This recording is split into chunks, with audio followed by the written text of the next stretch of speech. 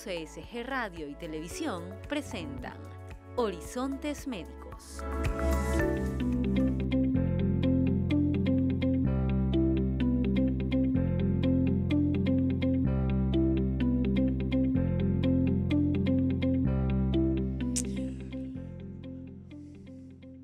Distinguidos amigos, tengan todos ustedes muy buenas tardes.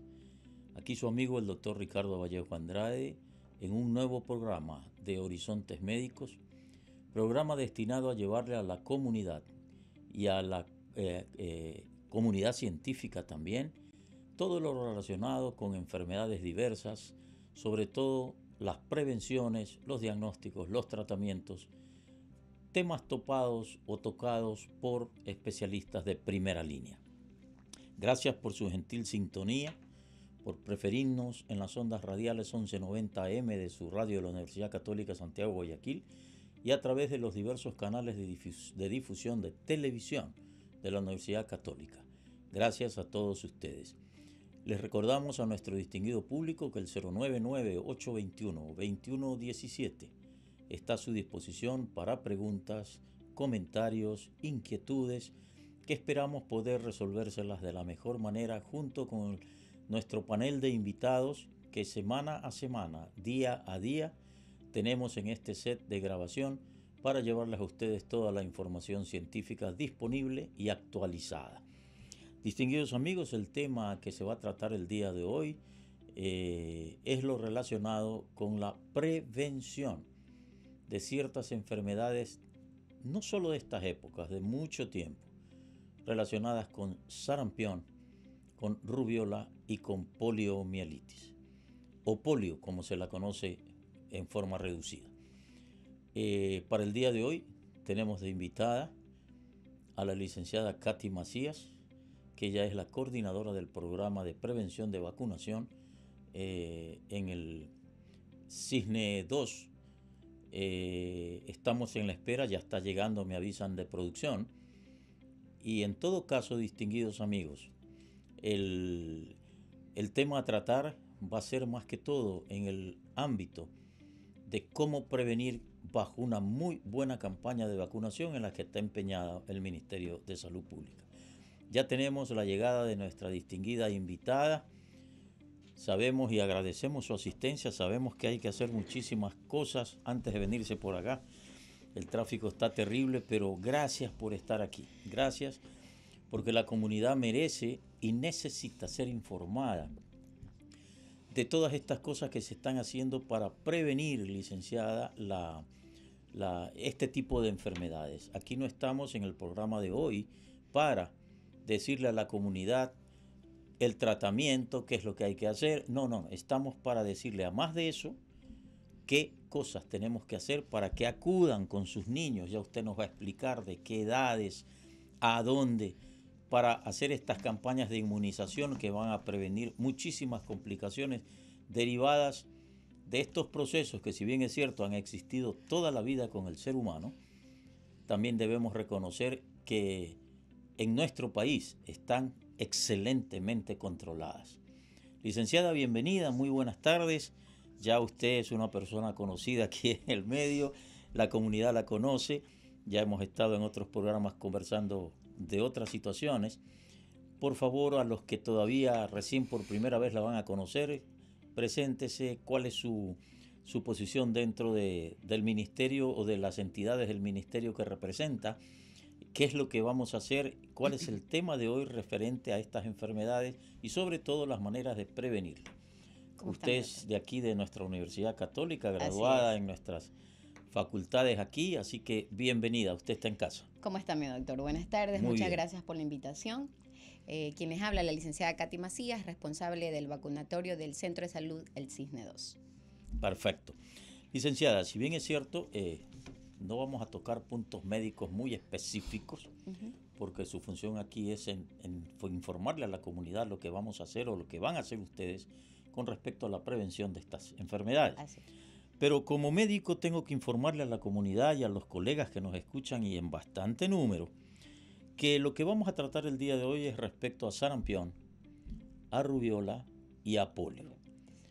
Y que quede claro, y usted acláremelo por favor si estoy en la razón o no.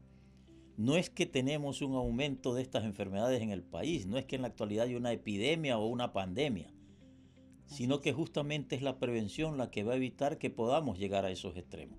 Porque entiendo yo que no se han reportado casos de, en, número grande que nos diga, oiga, estamos ante una epidemia o una pandemia. Entonces, que eso quede claro, ¿no? Claro, mi doctor. ¿Qué nos eh, podría decir al respecto? Bueno, al respecto, que, quiero comunicarle a, la comunidad, ¿verdad? Que nosotros vamos a empezar una campaña, una mega campaña de vacunación contra sarampión, rubiola y poliomielitis. Esta va a partir desde el día 2 de mayo hasta el 9 de julio. 2 de mayo a 9 de julio. Sí. Eh, ¿Por qué se va a dar esta campaña masiva? Recordemos que hubo una época que tuvimos la pandemia, entonces muchos niños quedaron con sus esquemas incompletos en vacunación. Al respecto de cantidades eh, reportados por, por sarampión, eso sí lo indicaría zona, pero eh, la campaña se da por esto, ¿no? Por el abandono de estas vacunas, ¿verdad? Por Dejaron inconclusos los esquemas de vacunación. Así es. Entonces, eh, se está atacando con dosis indiscriminadas de sarampión, poliomielitis y, y rubiola, pues, ¿no? Se está usando la, la, trivalente que le dicen o la, o la triple porque se incluía sarampión, rubiola, pero era toferina. Ajá. Ahora no, solamente solo sarampión, y rubiola, y, poliomielitis. polio. Ajá, la polio que es oral o la inyectable. Entonces, ¿cuál están, cuál, ¿Con cuál van a hacer la campaña? Oral e inyectable en lo que es poliomielitis, la OPV, la FIPV, ¿verdad? Y la sarampión y rubiola. Y todas en ese rango de edades. ¿De qué edades? ¿De 1 a 12? Partimos desde, desde el año de edad hasta los 12 años de edad. Ya, perfecto. Entonces, para que nuestra comunidad tenga un, poquito más claro esto, tenemos que decirle que el sarampión endémico eh, realmente prácticamente está eliminado de Norte, Centro y Sudamérica. Prácticamente está eliminado, está erradicado. El último caso de endémico que se notificó en esta región fue en el año 2022, por el mes de noviembre. Perdón, 2002, estoy equivocado, 2002 en el mes de noviembre. Pero fue a raíz del 2016, luego de algunas pandemias que pasaron, porque no solamente fue el COVID, ese fue ya en el 2019-2020, pero tuvimos, acuérdense, gripe aviar, eh, la A1N1, una serie de procesos que dejaron realmente muy bajo el sistema inmunológico de la población. Así es, perdón, doctor. Y recordemos que estas eh, son infecciones, eh, son virales, son enfermedades virales, entonces que nos ataca directamente al, aparato respiratorio. Entonces, y se producen a través de las gotitas de saliva, la tos, el estornudo, entonces son virales. Sí, justo eh, de cómo se contagian o de qué manera usted adquiere el proceso, lo vamos a tratar. Pero queremos dejarle a nuestro público claro que eh, en el continente americano, en el año 2016, hubo un pequeño repunte, no necesariamente Ecuador. Eh, los brotes igual siguen ocurriendo en una u otra parte del mundo en un índice muy pequeño, ¿no? Por ejemplo, por darle un ejemplo, en Boston, Estados Unidos, en junio del 2006 hubo un pequeño brote. En el 2005, en Indiana e Illinois, dos estados de los Estados Unidos, también tuvieron algunos casos para el año 2010 se intensificó un poco la presencia de sarampión exclusivamente en Argentina, en Buenos Aires, eh, cuando muchas, pero muchas personas se contagiaron en el Mundial de Sudáfrica, en ese conglomerado de personas, pero tremendamente alto, y trajeron el virus acá. O sea, la mayoría de los casos es justamente por inmigrantes que salieron, regresan o inmigrantes nuevos que vienen al país y ahí es cuando se producen estos contagios. En el Ecuador, estadísticamente en el año 2018, después de casi ocho años, o sea, desde el 2010 que ya habíamos erradicado prácticamente el sarampión, aparecieron 19 casos. Eso está en las estadísticas, no lo inventamos, no se oculta, porque eso está en en la red pública. Usted puede investigar y ahí está, ¿no? Pero todos los casos fueron traídos por inmigrantes. No hubo aquí autóctonos de aquí. Y eso es una gran ventaja. Y hay, como especie de, de una anécdota o de algo simpático, si fuera ese el término, cerraron pues un tiempo la famosa Disneylandia. En el año, déjeme revisarlo aquí, Eh, en el año 2000, perdón, en el diciembre del 2014, hubo un brote que se concentró en el famoso pues, parque de Disneylandia en los Estados Unidos, en donde llegaron a cerca de 700 casos en un periodo de siete días. Y eso hizo, que, eso hizo inclusive que el presidente de ese momento en Estados Unidos, don Barack Obama, haya prácticamente exigido que todos tenían que vacunarse. Pero bueno, ahora sí queremos escucharla a usted en el sentido de que sabiendo que el sarampión es una enfermedad exantémica, muy contagiosa, exantémica porque presenta pues, una serie de, de cosas que usted no las va a explicar, que el virus infecta el tracto respiratorio y que se expande al resto del organismo y dejando claro que no se da en animales, es. exclusivamente humana. Pero ¿cuáles son esos síntomas donde usted puede detectar previamente eh, que ese paciente puede estar afectado de sarampión? Bueno, recordándoles un poquito no a la ciudadanía que es una enfermedad viral, que me voy a contagiar en el caso de que tenga un contacto con la persona enferma, en donde esta persona estornuda, tose, eh, ella puede expulsar las gotitas de saliva y es donde yo me puedo contagiar de sarampión, ¿no? En este caso, los niños, pues, ¿no? ¿Cuáles son los síntomas que va a presentar un paciente con, sarampión? Es la mialgia, que es el dolor severo de, cabeza, el dolor grave de cabeza, el fiebre, malestar, fiebre, malestar, eh, pérdida de apetito, ¿verdad? El cansancio que es eh, innato, congestión nasal, mucho estornudo. Esos son los síntomas que va a presentar un paciente que son los básicos, ¿no? Sí, de ahí que aparecen también las erupciones cutáneas, las erupciones de... las que vamos a conversar en el siguiente segmento. Vamos a dar un paso ahorita a unos mensajes comerciales. Sí, es eso.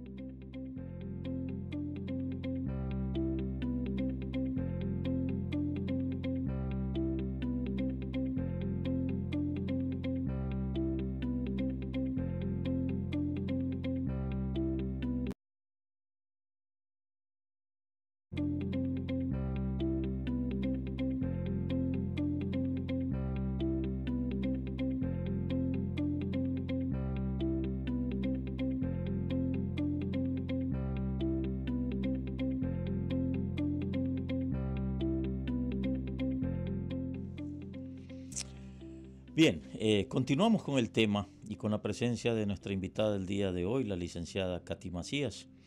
Eh, luego de un periodo de incubación del sarampión que puede durar aproximadamente de 4 a 12 días, periodo en el que muchas veces no hay síntomas, el paciente pasa asintomático, ya empiezan a aparecer las primeras manifestaciones entre 3 y 5 días posteriores ya usted nos había hablado de ese exantema.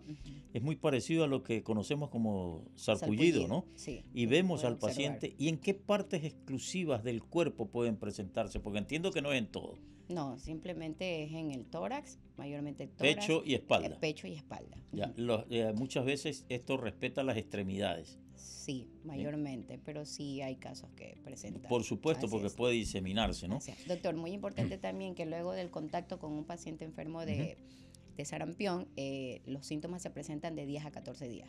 A partir del contacto son de 10 a 14 días. Claro, es que ese es el periodo más o menos de incubación. Como el periodo de incubación. Ajá, eso es importante. Ahora, eh, el diagnóstico lógicamente se hace a través de exámenes, pues se pueden ver anticuerpos en sangre, son exámenes que se piden a los laboratorios. Usted hace el diagnóstico. Eh, pero también he sabido que esto se puede prevenir con la vacuna, que es de la que vamos a hablar posteriormente, ¿no? Ahora, eh, ¿cuál es la forma más frecuente de transmisión? ¿Solamente el toser? el tener contacto con el con saliva, con los fluidos, le dicen las gotitas de fluye, las gotitas de fluye, como el bacilo típico de Koch. Como, como el Koch, como tuberculosis. Como tuberculosis. Entonces, el paciente tosió, el paciente estornudó, estuve yo ahí en contacto y me contagió de sarampión. Tiene mucho que ver su sistema inmunológico también, para desarrollar o no el proceso. Así es, y si no me he vacunado, como más no he tomado prevención en vacunar a mi hijo, lo voy a exponer a esto. Por supuesto. Ahora, en, en el caso de que este sarampión eh, dé a una persona que está embarazada, ¿qué problemas podemos tener? Claro. Bueno, pasado cierto periodo ya no afecta, ¿no? Claro, mayormente son en las primeras. Tres primeros meses, muy difícil. en las primeras semanas. Y esa es una de las cosas que, que, por ejemplo, el caso de la rubiola sí puede darnos una cuestión mucho más seria. Malformaciones congénitas. Así es. Bien, ahora, no solamente eh, usted se nota al paciente porque tose y dicen que no hay sarampión sin tos. Sin tos. Es una tos Tiene que haber la tos obligadamente. La presencia de ¿Ah? diarrea también. Eso, justamente, a eso iba. Mucha diarrea, es una diarrea incontrolable. Que puede confundirse hasta con un rotavirus con un Rotavirus, así es, doctor. Y esa es una de las cosas que, que muchas veces los médicos de atención primaria que no tienen clara la situación de qué podría tratarse, porque son muy parecidos los síntomas a otras enfermedades. Y muchas veces las diarreas empiezan a tratarlas con antibióticos. Y eso nos va a complicar porque esto es un virus. Claro, es un virus, es una enfermedad viral. También es muy importante que las mamitas sepan que aparecen manchas de Copley, que son unas manchas blancas en, en, la parte interior de la mucosa oral. Dentro de la mucosa dentro De la Así es. Entonces, eso también es uno de son los típicas Las típicas en el de este, de este proceso. Conjuntivitis la conjuntivitis, ahí está, fotofobia, o sea, esos son los síntomas. Rechazo hacia la luz. Hacia la luz. Se tiene que protegerse porque causa malestar, escosor, picazón. El dolor de la cabeza, ah. por, la O sea, es un típico cuadro que muchas veces se puede confundir con un catarro severo, porque prácticamente así, viene, ¿no? Así es. Pero sabemos que no solamente se afecta al tracto respiratorio superior, también puede haber casos de complicaciones al tracto respiratorio inferior, y tenemos las famosas neumonitis posarampión, que son severas. Terminan en neumonías, son una de las complicaciones. y una, de, las, más eh, complicadas y más temidas, ¿no? Infecciones de oído y neumonía. Problemas de amígdalas. Se, se inflaman los ganglios, los ganglios, todos los ganglios se inflaman. Y dice que muy parecido a la papera, es verdad eso, que también los órganos eh, de reproducción masculina, en el caso de los hombres, que en el caso de mujeres ovarios, se afectan también y, están en procesos inflamatorios. Pero no solamente es a estos niveles, las adenoides, el vaso puede afectar, si usted puede encontrar un vaso grande y es por el proceso de, que se está llevando a cabo. ¿no? Ahora, ¿cuántos días dura esa fiebre en el sarampión? No dura mucho. No, eh, Una vez que ya afloró porque comienza con fiebre. Claro, por eso se decía que una vez del contacto de 10 a 14 días que presentan los síntomas, de ella florece la, lo que es el típico. Y la fiebre desaparece muchas veces sola. Por lo tanto, es recomendable también decirles pues, a, los, a, la comunidad que evitemos el uso excesivo de medicaciones, porque a veces la temperatura se controla más bien por medios físicos sin ningún problema, porque estamos afectando igual otros órganos. Las encefalitis, mi querida licenciada. Eso es una de las complicaciones. Eh, produce una encefalitis severa, una ceguera, una ceguera muy radical. Entonces pero, no queda el paciente con esa ceguera a futuro. Puede recuperarse. dependiendo. Dependiendo de la afectación del nervio. Así es. O sea que no estamos hablando de una cosa sencilla. es algo. Estamos hablando de algo bastante severo. Muy severo y muy complicado y que deja sus y desde el punto de vista médico es una complicación muy rara, se la comento, pero de extrema gravedad, que es la denominada panencefalitis esclerosante subaguda. No entremos en detalle, porque realmente es un tema largo, pero es una de las complicaciones más temidas. El paciente pierde conocimiento, puede entrar en coma, una infección generalizada y realmente por algo que puede prevenirse. prevenirse. Ahí es donde vamos. ¿Qué están haciendo ustedes? ¿Qué está haciendo el ministerio? ¿Cuál es la planificación que tienen? Ya la fecha no las dio. ¿En qué edades va a haber la prevención? Ahorita solo hablemos de sarampión. ¿Qué es lo que estamos haciendo nosotros como Ministerio de Salud Pública? Pues nos estamos informando a la comunidad por medio de afiches, por medio de reuniones con líderes de comités locales de salud, con educadores de CNH, CDI, coordinando con el MIES, con lo que es escuelas y colegios, para poderles eh, brindar el lineamiento y la importancia que es que el padre sepa eh, lo importante que es vacunar eh, sobre estas dosis indiscriminadas de sarampión y, y la poliomielitis. Ya, ahora, ¿En qué edades va dirigida esta campaña que van a emprender? A partir del año de edad hasta los 12 años de edad. Se va a implementar con barridos casa a casa, intervención de escuelas, colegios, intervención de estos NH y CDI como guarderías. Entonces es muy importante que la ciudadanía sepa que vamos a estar en esta intervención de lunes a domingo.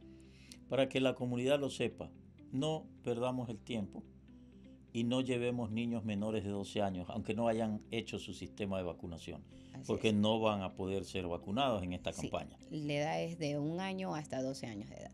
Correcto. Ahora, que quede claro y dígaselo a la comunidad, es gratuito. Claro, totalmente recordándole siempre que el Ministerio de Salud Pública, a manera de prevención y en todas las unidades, sus vacunas son totalmente gratuitas y seguras. ¿Dónde tienen que asistir para esta vacuna? Centros de salud cercanos a sus casas, esperar también la intervención en escuelas y colegios como antes indiqué o en las guarderías que se encuentran los niños en CDH Van a ir a hacer programas a las escuelas y colegios ahora ya está coordinado, ya, está coordinado con el MIES, ya tienen cronograma de intervención cada unidad con sus establecimientos de educación. Ya, la vacuna que se pone, ¿dónde se pone? ¿Qué vía? Ya, la vacuna eh, no tiene ningún malestar, no presenta ningún malestar el niño, es sarampión y rubiola, es a nivel subcutánea, ángulo de 45 grados en el deltoide, no hay malestar, no presenta inflamación, así es, a nivel de grasa, entonces el niño no va a sentir ningún malestar. Asimismo como la, bueno, estamos hablando solo de la sarampión, pues no iba a... Sí, en este caso sarampión, pero ustedes están poniendo junto con rubiola. Así es. Pero bueno, ya vamos a tratar el caso es una sola, es una sola, viene un solo, viene un solo frasco sarampión y rubiola, así es. En todo caso, distinguidos amigos, antes de pasar a nuestro nuevo segmento, luego de unos mensajes que vamos a escuchar, queremos dejar claro que es gratuita, que asista la comunidad a los centros de salud cercanos y si quieren, al centro de salud número 9 creo que es, ¿no? El Cisne 2. Cisne 2 es la o todos los centros de salud cercanos a su casa. Eh, donde serán atendidos en forma gratuita para que sus niños hasta los 12 años de edad tengan la inmunidad que necesitan para prevenir estas enfermedades. Regresamos en el próximo segmento con unos mensajes.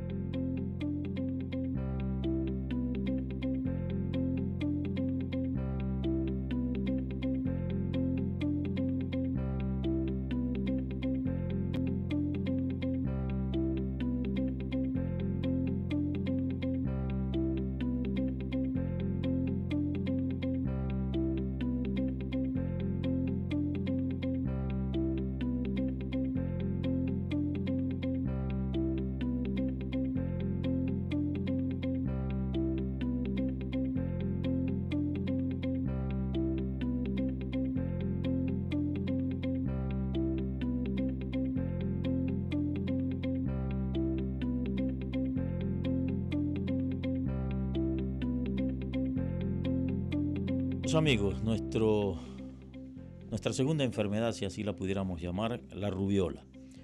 Es una enfermedad infecciosa causada por el virus de la rubiola, es el rubivirus rubelae, así se llama. Es un virus de la familia de ARN y eh, se caracteriza por una serie de síntomas bastante similares con pequeñas diferencias, así como tratamos lo del sarampión. Es transmitido por vía respiratoria, y hay una, particularidad, se replica mucho en los ganglios linfáticos del cuello, que hace que la persona se sienta... Es muy observable, exactamente. Ahora, el problema de esta enfermedad, de esta rubiola, es que puede ser adquirida o contraída por la madre durante el embarazo. Y ahí sí que es una grave amenaza para el feto y es la causa aproximadamente del 20% de los abortos espontáneos en estas señoras embarazadas.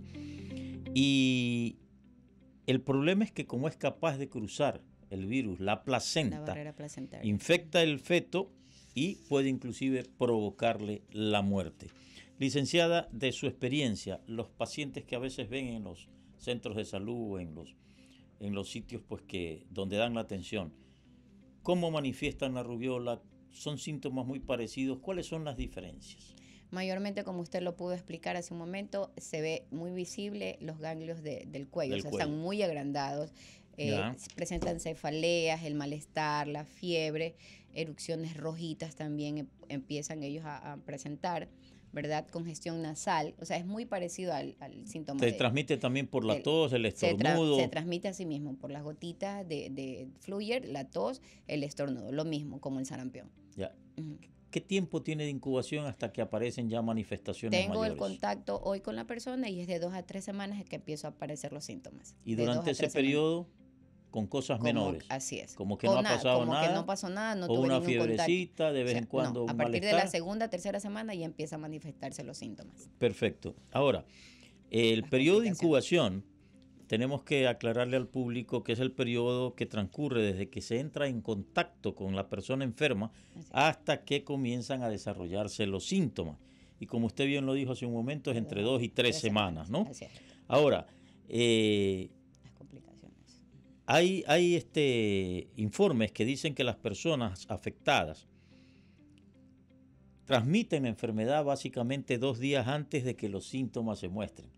O sea, son contagiantes justo en un periodo de 48 a 72 horas antes de que empiece incluso la persona afectada a manifestar síntomas. O sea, es altamente contagiante Por eso en es ese que, periodo de ventana. Claro. Entonces, usted pasa exactamente ese periodo de ventana donde no tengo nada, pero ya puedo estar contagiando. Y a los 3, 4 días me aparecen a mí los síntomas y le doy el chance, si ese es el término, a la otra persona que desarrolle en el transcurso de las 2, 3 semanas los síntomas. ¿Cuáles son esos síntomas que más se observan aparte de lo que hablamos de la adenopatía linfática a nivel de cuello, ¿no? Así es, y el malestar general, típico como que estuviera eh, un resfriado, un malestar general, la cefalea, eh, los ojitos también se nos van a poner mayormente enrojecimiento de Una conjuntivitis, que uno dice conjuntivitis viral. Así es, es casi lo mismo. Pero no confundirnos con la patada china. No, no. No, es que hay que aclararlo porque a veces dicen, claro. Ah, Así es. Tiene rubiola y no, es una simple patada china, ¿no? Así es. Algo que diferencia con el sarampión es el asunto del dolor en las articulaciones. En caso de rubiola se presentan muchos dolores articulares que muchas veces pueden ser confundidos con lesiones deportivas o con malestares de otra índole. Ah, es que se me elevó el ácido úrico. Tienes que sumarle los síntomas para que veas de qué se puede estar tratando. E igual como usted dijo, disminuye el apetito, dolores de cabeza, puede haber náuseas, el paciente se vuelve intranquilo, no duerme bien por el, porque se siente con ese fastidio, ¿no? Y hay algo que hay que, así como en el sarampión, usted nos habló del, de las famosas manchitas dentro de la mucosa, de couple, dentro de la mucosa de, de, bucal. Acá en la rubiola se manifiesta en el 20% de los casos lo que se denomina el signo de Forchemier. Forcheimer. Se caracteriza por pequeñas vesículas rojas en el paladar. No es en la mucosa. Usted ve el paladar y ve unas vesiculitas rojas, eso es signo de rubiola. Eh, que puede ayudar también en los diagnósticos, ¿no? El laboratorio es, está al alcance de todos, un simple IgM, IgG en sangre puede detectar los anticuerpos específicos para para estas células positivas de rubiola. Y lo más importante, la rubiola congénita, que eso es lo que realmente más preocupa, ¿no? Claro, recordemos que también eh, si yo no vacuno a mi niño de sarampión y rubiola, eh, mayormente una de las complicaciones sería una ceguera, un retardo en su crecimiento en, nuestros niños, ¿no? Entonces, por eso es muy importante. Cuando la rubiola ha sido adquirida congénitamente, transmitió la madre al niño. Así es. O también mayormente cuando el niño eh, se puede contagiar durante su etapa de crecimiento y no ha sido administrada la Déficit intelectual. Así es, discapacidad intelectual, sordera, mayormente produce sordera. Entonces, son unas complicaciones muy graves para el niño, pudiéndolas evitar y teniéndolas al alcance de todos, totalmente gratuitas, pues, ¿no? Claro, y eso se conoce como pues el síndrome de la rubiola congénita, que eso es lo que trata estas campañas de vacunación evitar. ¿Usted sugeriría que toda madre embarazada debe estar protegida de rubiola? ¿Debe vacunarse antes de que pudiera salir embarazada o no es necesario? Mayormente si la paciente tiene su esquema de vacunación, o sea, desde pequeña. Desde pequeña, claro. Y tratar de prevenir, cuidarse. Pues no sé que alguien tiene sarampión o rubiola, tratar de evitar mayormente ir a lugares donde... El contacto, lógicamente. así es. Ahora, ya que usted nos habla de estas campañas de prevención, pueden acudir niños con sus madres, lógicamente, que hayan recibido una inmunización ya de pequeños, desde hasta el año de edad, diga usted pero que tiene que, tiene que ponerse refuerzos y qué edades implican poner refuerzos. ¿La campaña es para refuerzo o para vacunaciones primarias? Eso sería eh, bueno Son dosis indiscriminadas, doctor. Mi niño tiene mi esquema de vacunación, pues yo tengo que administrar una dosis indiscriminada de sarampión y rubiola y de poliomielitis. Son dosis indiscriminadas, de la edad que le indiqué, de un año hasta 12 años. Sin ningún problema. Así es. ¿Ya? Tengo que volver a, vacunar a mi Una vez que da la enfermedad, ¿repite? ¿O deja inmunidad total? O sea, recordemos que tiene memoria, pues no. El virus tiene memoria, entonces queda Queda la inmunidad. Y una de las cosas que también preocupa a la comunidad médica es que vemos a veces muchos casos de rubiola en sus inicios y se los confunde con Zika. Porque se caracteriza el Zika por la fiebre, por, los dolores articulares. Y las manchas que aparecen. Por esa situación como que usted se ha ido a la playa y se quemó excesivamente ese rojizo, ¿no? Entonces eso es importante. Respecto a la vacuna triple, que es la que se ponía, ¿no? Ahora ustedes están poniendo las dos, este, rubiola y sarampión. Claro, viene así, sarampión y rubiola. Igual, esa campaña sigue en las mismas fechas. Eh, a quienes están destinadas, volvamos a repetir las edades. La gratuidad del procedimiento hay que recalcarlo continuamente porque nadie le puede cobrar por una vacuna. Así es. ¿No? Y eh, cómo se va a manejar. Igual que el sarampión, de casa en casa, escuelas, cuándo inician las escuelas o cuándo se da inicio a este programa para rubiola. Ya, recordemos que nuestra vacuna en sarampión y rubiola viene las, las dos, eh, eh, en una sola vacuna viene... Las dos, perfecto. Las dos. Entonces, yo voy a administrar mi vacuna y estoy inmunizando a mi niño de sarampión y rubiola en una sola dosis. ¿Necesito un refuerzo después? Sí, hay un refuerzo de puede ser que mi niño no tenga segunda dosis de sarampión y rubiola, entonces yo puedo administrar ese. Ya, pero si acá se aplica por primera vez, ¿cuándo es el próximo refuerzo? Eh, a los seis meses. Seis meses, perfecto, correcto. Así es, doctor. ¿Y cómo van a hacer la campaña? La campaña, como anteriormente lo indiqué, eh, asimismo, barridos casa a casa, eh, coordinación con el MIES, escuelas, colegios, guarderías. Es lo mismo, la misma intervención, líderes políticos, perdón, líderes de líderes variables del comité de los centros de salud acompañamiento con los TAT, MIES. Ya, ahora esta campaña va a tener algún lanzamiento oficial. Claro, el lanzamiento sería este día martes, ¿verdad? este próximo martes. Este martes con el acompañamiento de MIES, eh, de los CNH ¿verdad? Con los líderes de los comités locales de salud y las autoridades eh, pertenecientes al Ministerio de Salud Pública. Perfecto. Vamos a ir a, a nuestro último segmento, luego de unos mensajes. Y si producción nos puede pasar algunas imágenes o videos de, de, este proceso, sería interesante para que nuestro público vaya empapándose un poquito más.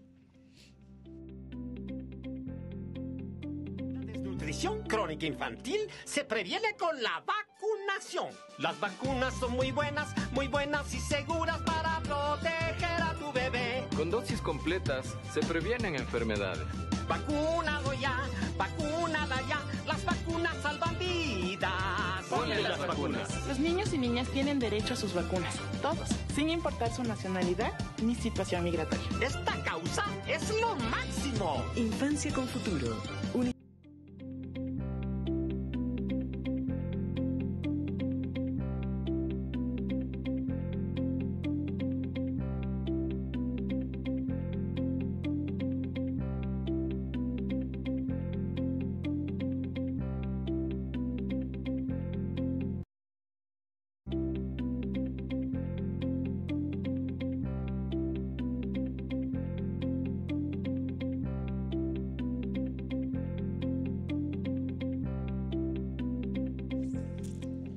Amigos, vamos a entrar en el último segmento de nuestro programa. El tiempo se ha ido rápido.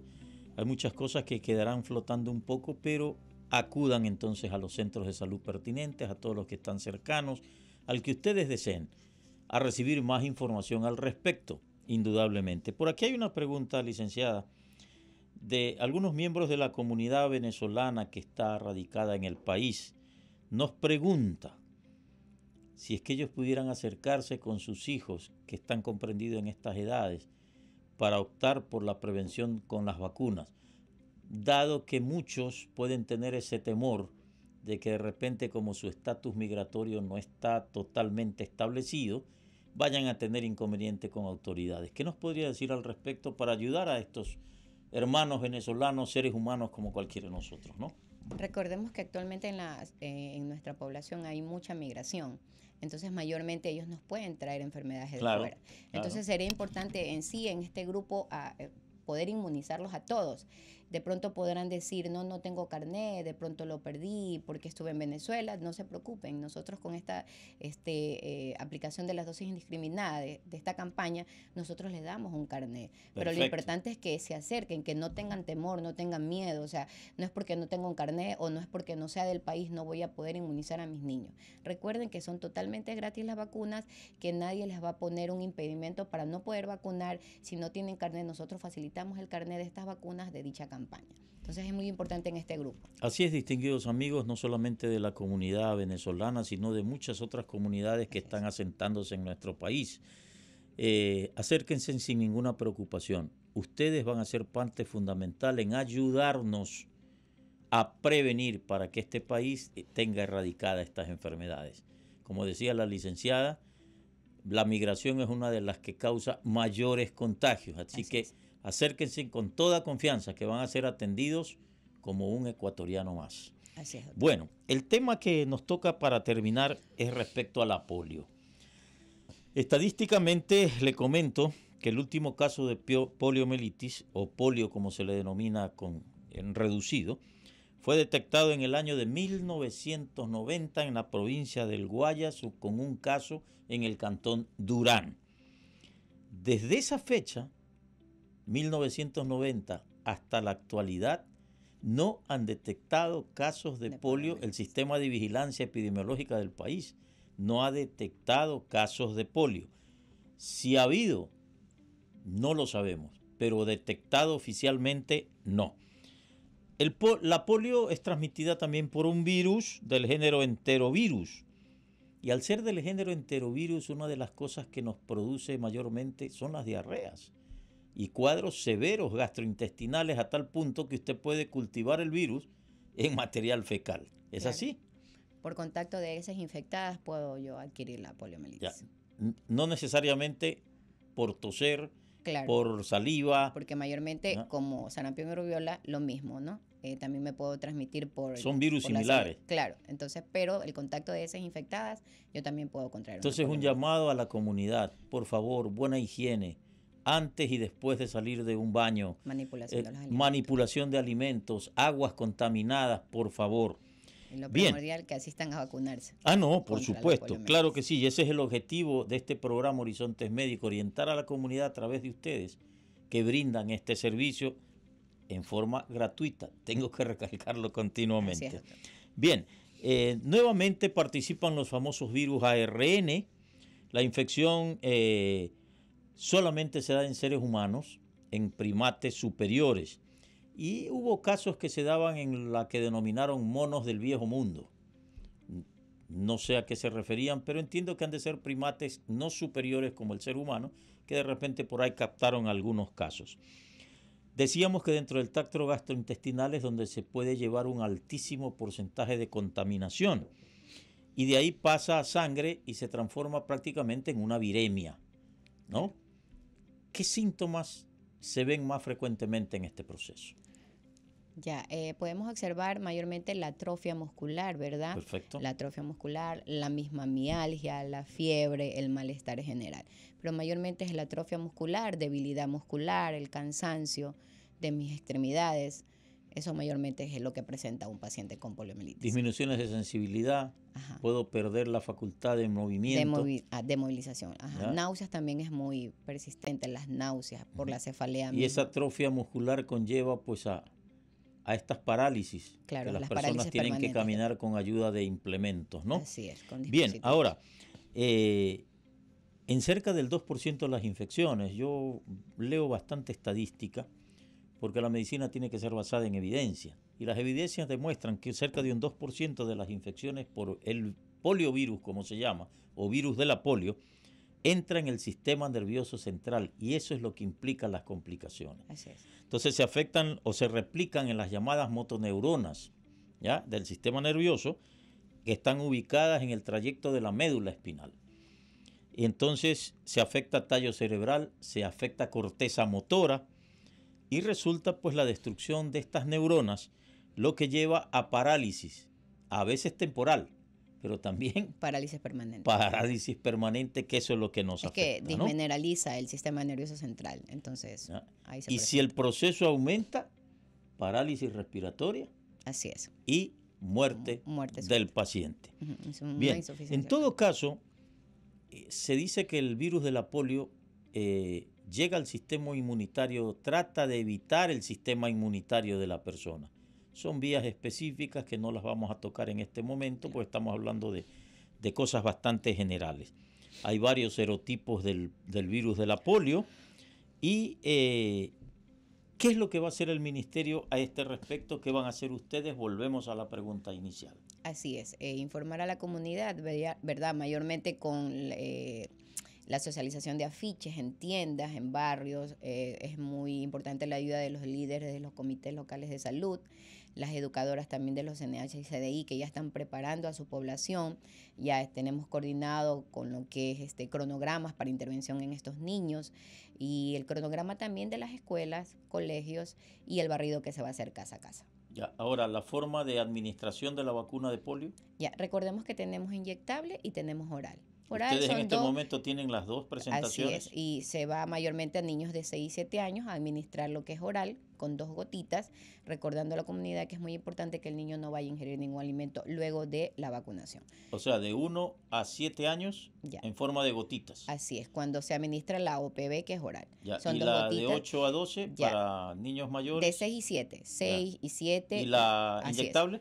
Así es que es la FIPV, es intradérmica. Esa no presenta ningún malestar, solo se, se, presenta mayormente visiblemente, es una pápula que se reabsorbe en uno o dos minutos. Las cosas comunes de toda reacción de vacuna. Así es.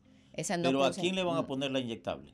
La inyectable tenemos que poner a niños a partir de los 6, 7 años. Hasta los 12. Claro, hasta los 12 años de edad. Perfecto. Si hay un niño que llega y le dice tengo 12 años, 6 meses, ya, no entra doctor, en el escucha, mayormente los niños que se administra FIPV, o sea, tenemos sarampión, rubiola, OPV y FIPV son solo los niños de 6 y 7 años.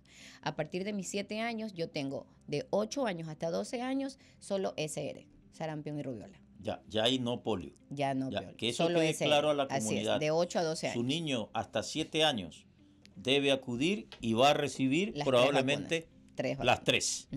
Pero luego de los siete años solo recibirá sarampión y rubiola, nada y rubiola. Así es. Qué interesante, este, licenciada. El programa lógicamente ha transcurrido rápido, ha transcurrido muy rápido. Eh, podríamos conversar muchísimas cosas adicionales, pero tiene que quedar claro que el ministerio abre sus puertas en todos sus centros de atención, llámese centros de salud, centros de vacunación, como usted lo quiera llamar. Eh, abre sus puertas a todos por favor, comunidades de inmigrantes de otros países, acérquense sin ningún impedimento. Nadie les va a hacer nada.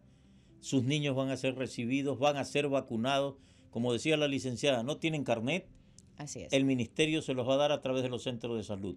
para que ustedes empiecen ya con una guía de vacunación correcta. Ustedes son la base para que nos ayuden a que no afecte a nuestro medio, a nuestro país, a nuestra ciudad el problema de estas tres enfermedades. Hasta los siete años de edad, sus niños recibirán las tres vacunas, polio oral, rubiola y sarampión a través pues, de la vacuna inyectable, ¿no? Así es. Y a partir de los 7 a los 12. De 8 a 12. De 8 a 12, perdón, solamente sarampión y rubiola. Ténganlo en cuenta. Yo quiero concluir diciéndoles que las campañas de vacunación en las que están empeñados ustedes contra sarampión, contra rubiola, contra polio y contra cualquier otra enfermedad, contribuyen lógicamente a la reducción significativa de la muerte del paciente, en este caso de la población más vulnerable, que es la infantil. Pero también contribuye a que otras enfermedades concomitantes no se den. No se den, así es. ¿Ya? En todo caso, eh, licenciada, eh, hay muchas personas que están preguntando si complemento con vitaminas, si no complemento con vitaminas, eh, que si me protejo no de la malaria o el paludismo. A eso es que yo quería llegar. Cuando usted se vacuna para ciertas cosas, hay otras que también puede protegerse porque su sistema inmunológico va a responder. Una conclusión final, licenciada, ¿cuál es su mensaje a la comunidad para terminar el programa de la mejor manera posible. Ok, el mensaje a nuestra comunidad sería que no duden en acercarse a todas las unidades de los centros de salud cercanos a sus casas, recordando que la vacuna es a manera de prevención. La finalidad de esta mega campaña, que son dosis indiscriminadas de sarampión, rubiola, poliomielitis, es para prevenir esta enfermedad y erradicarla totalmente del país. ¿Ya? Recordando que no hay discriminación, no hay estatus social y en el caso de que no tengamos carnet, pues les acabo de decir que nosotros tenemos la facilidad de poderles dar un carnet. No por eso voy a dejar de inmunizar a mi niño para, para poder prevenir de esta enfermedad que, como hemos escuchado, son síntomas que dejan y secuelas irreparables e irreversibles. Pueden dejar secuelas irreparables. Así es, distinguidos amigos, nos hemos honrado el día de hoy con su audiencia, tanto a nivel radial como a nivel de los canales de televisión. Eh, no sé si producción nos ayude pasando ese video ilustrativo para terminar el programa y dando muchísimas gracias a todos ustedes por permitirnos llegar a sus hogares a través de esta sonda. Licenciada, nuevamente muchas gracias. Muchas gracias. Y esperamos verla por aquí otra vez. Así será. O más continuo. Muchísimas gracias. Buenas tardes. Desnutrición crónica infantil se previene con la vacunación. Las vacunas son muy buenas, muy buenas y seguras para proteger a tu bebé. Con dosis completas se previenen enfermedades. Vacunado ya, vacunada ya, las vacunas salvan vidas. Ponle las vacunas. Los niños y niñas tienen derecho a sus vacunas, todos, sin importar su nacionalidad ni situación migratoria. Esta causa es lo máximo. Infancia con futuro.